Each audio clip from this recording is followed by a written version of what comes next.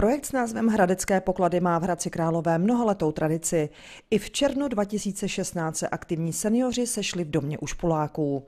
Považuji za velký úspěch, že se již pátým rokem eh, daří realizovat akci Hradecké poklady, kde se setkávají výtvarníci, vědci, spisovatelé, eh, literární umělci, ale i třeba spolupracovníci poskytovatelů v sociálních službách tady eh, s primátorem města.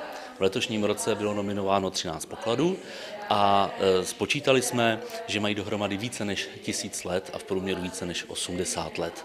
Je to úžasné, dohromady za těch posledních pět let jsme přivítali tady v domě Ušpoláků již 73 e, pokladů. Hradecké poklady každoročně veřejnosti dokládají, že stáří může být radostným obdobím, pokud se mu postavíme čelem a že může být pro člověka výzvou a příležitostí právě tak jako jiná životní období. Neskutečnou energii má ve svém věku například 81-letý lékař Josef Macela.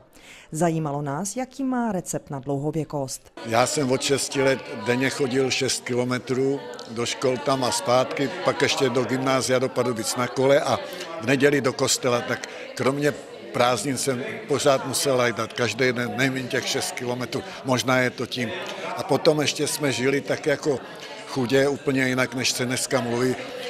Měli jsme chleba, brambory, buchty, pak jsme měli z vitaminu žádný kupování. Bylo zély celoročně, cibule a jablka to bylo tak půl roku, že jo.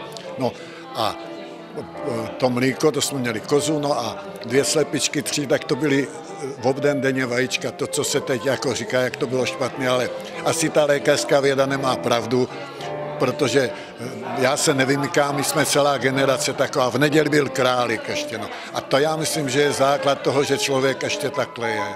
No a gény trochu taky. Aktivní seniory přišel pozdravit i primátor Hradce Králové Zdeněk Fink. Pro ty lidi si myslím, že to je takové pozvání, jsou rádi většinou, že si jich někdo všímá v tom věku, že chce jejich práci, jim chce poděkovat. A pro nás zase to je takové eh, podívání se do budoucna, protože těch starších lidí v Hradci Králové bude přibývat a čím víc jich bude aktivních, čím víc jich bude rozdávat ještě nějaké radosti a nějakou činnost, tím to pro ně bude lepší. A nejenom pro ně, ale hlavně pro jejich okolí. Projekt Hradecké poklady probíhá ve spolupráci města s Centrem sociální pomoci a služeb a také městskou organizací svazů důchodců.